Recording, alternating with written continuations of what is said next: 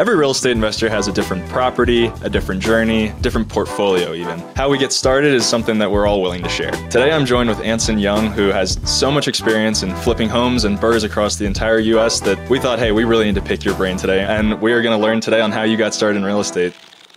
Hey, Anson, thanks for joining and welcome to the show today. Hey, thanks, Noah, for having me. Yeah, absolutely. So, like I said, we're just going to pull back the curtain and jump right in. We want to give you the floor here a little bit and tell us how you got started in real estate. If you could turn back the clock a little bit and tell us how you got started. Long story short is uh, I was in tech a long time ago. 1999, I started in tech, but I got laid off kind of in the dot com bubble, like everybody did in about 2003. And so I wasn't sure what to do next. Uh, I could either double down on tech or not. And I had no idea what that not meant. Right before I moved down to Phoenix for a couple years, my friend handed me Rich Dad Poor Dad, which is kind of a basic origin story for real estate investors. I don't have a special story on that front, but I read that book and it really resonated like, do I want to go down this path of 30 years in a cubicle like my dad did? He was in tech. Or do I want to do this other thing. And so when I landed in Phoenix, I basically was gung ho on doing real estate. And so I pretty much did everything that I could to get in front of anybody that I could that knew even a little bit more than me to get started. So you obviously had, you know, your dad's work experience to show you that firsthand. This is maybe the path I don't want to pursue. And then you had that little purple Bible that I think a lot of us real real estate investors get. So obviously, Rich Dad Poor Dad gives you the the roadmap to real estate uh, investing. Why was that what you chose instead of you know traditional thing like stocks or you know newer things that came out around that time and even around today you know crypto is is in the conversation so so why real estate is what you honed in on well i mean that book was all about real estate and it made a lot of sense i kind of realized that I was drawn to real estate. I, you know, anytime we were up in the mountains or, you know, I'd pick up the, the little brochure of all the listings that were in the area and I'd be like, this would be so cool to have a ski cabin or a, you know, beach house or whatever that looked like. You know, after reading the book and it was all just about this tangible asset, like I can go touch it. That makes, you know, that makes a lot of sense to normal people.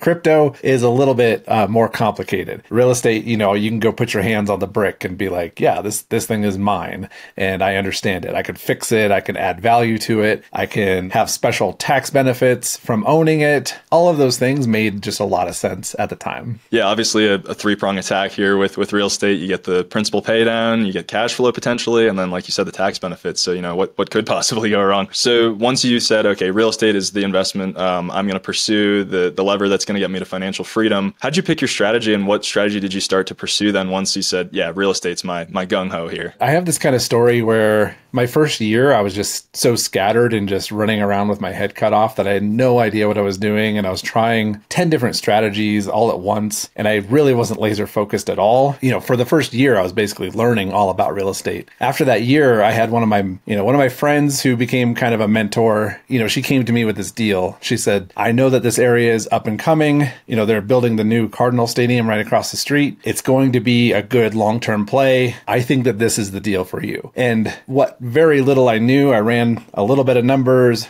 kind of checked it out. And my wife and I decided to do a live in flip on that deal. So our very first deal, we moved in, fixed up the rest of what needed to be fixed up. For us, it was a year. We lived there for a year and then we decided to sell because we, in our personal lives, we wanted to move back up to Denver and we're pretty much done with Phoenix. And so thankfully that was like right at the end of 2005. So thankfully we sold right around then because the Sun Belt really started to get hit in 2006 with kind of that pre mortgage crisis. It seemed like two weeks after I sold, the market started cooling down, but we were out. We pulled the cord, live and flip, success. Let's get back to Denver. So it sounds like you were in the Glendale area if you were near near the Arizona Stadium, if that's correct. Yeah, I watched it go up from my house.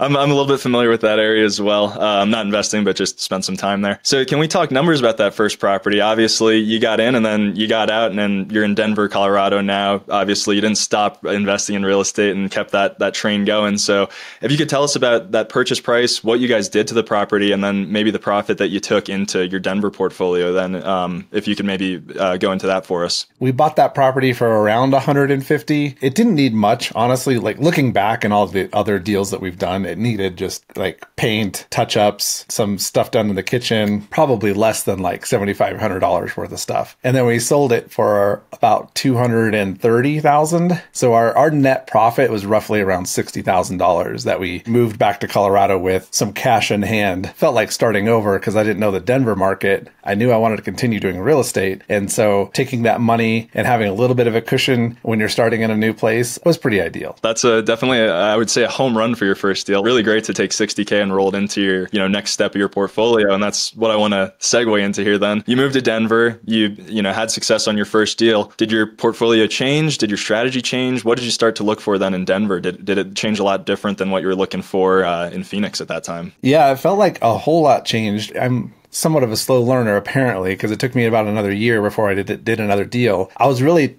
kind of studying the market, trying to figure out what was going on. I took a job, I'm working for a real estate agent, and he was having me do broker price opinions. They're just these kind of $50 appraisals that the banks do for bank owned foreclosures. And so I was doing dozens of those per week and hated it. But I am super grateful for that experience because now I can kind of just comp a property based off of, you know, really rough numbers and just pulling really quick data because I had to do that for, you know, almost a whole year basically. And then I got my license in 2007 and then I started doing deals again. And at that time, 2007, 2008, the market was falling a whole lot more bank owned foreclosures. You know, the inventory was going crazy, it was going up. It felt like it was just a whole different market than when I was in Phoenix. It was like red hot. You know, properties appreciating like crazy. And now, a couple years later, there's a lot of fear in the market. Stepping in and doing another deal in that kind of environment, it's pretty tough. But I found that going after bank owned foreclosures was something that made a lot of sense. There's not a lot of emotion in those deals. Basically, just a spreadsheet. I give out a number, the asset manager says yes or no. Nobody's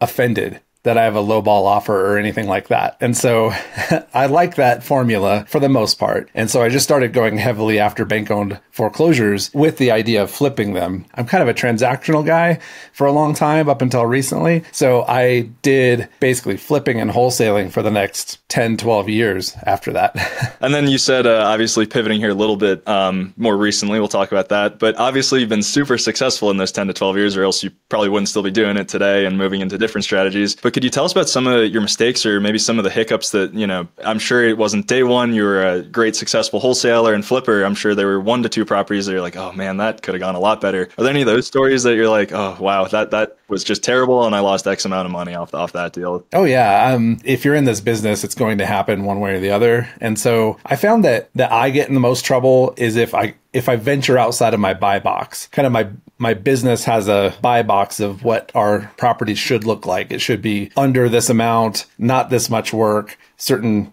time frames that we need to stay within. And so anytime I've gone outside of that is when I've gotten in trouble. And that happens when you're hard up for a deal or you need to put money in play or you need to get your contractors back to work. Those mistakes happen when you just kind of stretch on a deal and you wouldn't normally take it, but you're like, well, I have private lenders who are, they really want to put their money into my deal. Otherwise, they'll go on to another guy. They won't be able to lend that money for another four or five months. That was kind of a scenario that I was in a couple years ago where I was kind of in between projects. I needed to put some money into play. I bought a property that had structural issues, which I don't ever deal with. I had some good bids in hand. The market was going crazy.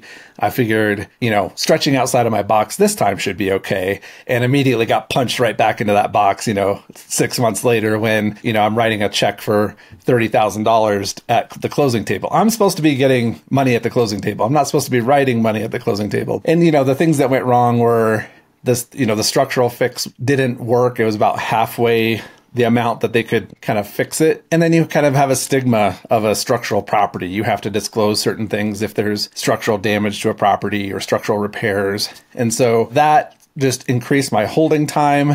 Plus a small flood in the basement, which wasn't part of this thing. So a couple things kind of lined up. My thin kind of margins disappeared and then went all the way into the red. Six months later, I am writing a check. And so it really teaches you to kind of stay in your lane. Don't stretch for those things, even though you think the market's red hot. Everybody's selling their property in 30 days. You know, mine took six months to sell. And so, uh, that hurts when those holding costs add up, plus spending more money than you thought you would on certain other things. So that's kind of my uh, main story on losing money. Well, it's obviously terrible that you lose money, but it's great to, you know, hear your full circle moment here and say, you know, I went out of my buy box. I recognize where I went wrong, not pointing the finger on, you know, it could have been coding if, or, you know, permit that slowed down the process. But I admit I went outside of my box that was comfort for me. And this is why it went wrong. It's definitely a valuable, valuable tip for a lot of our newer investors as well that will be looking for that one strategy. So obviously you said here, well, hinted at here that you're kind of pivoting your strategy a little bit. Can you talk about what Anson's doing here in 2024? Maybe what you just did in 2023 that's been a little bit different from your past 10 to 15 years in real estate? I finally, again, I'm a slow learner apparently. I finally took the advice of smarter people than me and kind of stepping out of the transactional game more into long term cash flow. And so for me,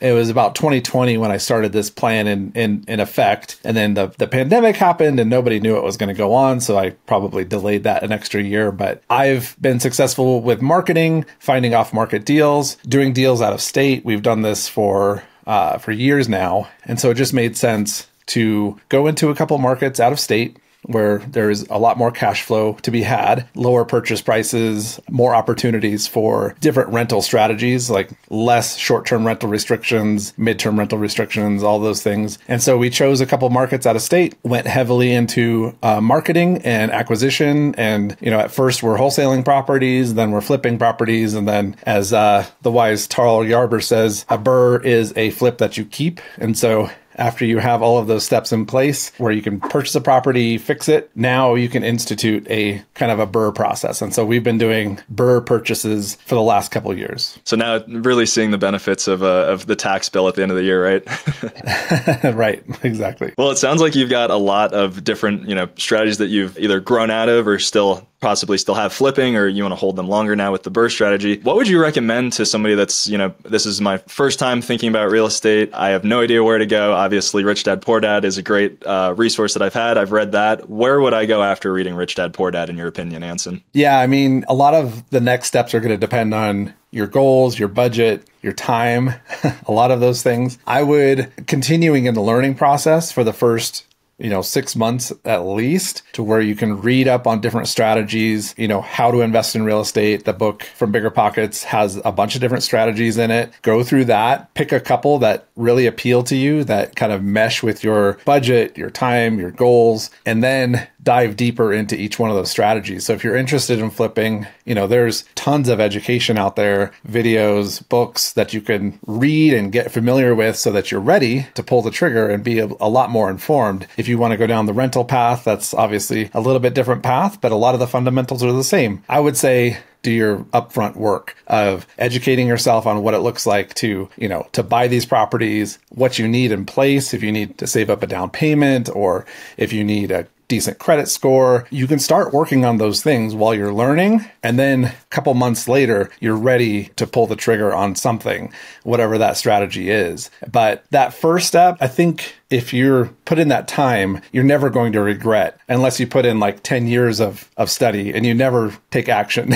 so a reasonable amount of study so that you're ready to take on you know take on the real estate world. That's really great advice, and obviously it's it's great to hear somebody who says they're a slow learner, but to see that you're at, at the stage you are in your career, I think we would all love to slowly learn to get to the point that you are today. If somebody's looking to learn more about you, Anson, I know where to find you, but where can our audience go and find a little bit more about you and some of the things that you and your team are doing here for 2024? So if you're on BiggerPockets, uh, I have a profile there. Please hit me up. I'd love to talk to you and help you out in any way that I can. Also uh, on YouTube or Instagram. So at Anson Young or at Young Anson on Instagram. Well, it'll be almost impossible to not find you. You're, you're, obviously making a lot of noise in our community and are doing a lot of great things up in Denver for a lot of clients as well. So, really excited to have you on the show. Um, really excited to hear your story and uh, really excited to pick your brain today. Thanks so much. This is awesome. If you like this video, please like and subscribe and follow BiggerPockets on YouTube. And if you want to follow me, you can go over to the BiggerPockets forums or on Instagram at Making Bacon REI. Really look forward to having you on How Did You Get Started in Real Estate on the BiggerPockets Rookie channel here on on YouTube. Thank you, everybody, and have a great day.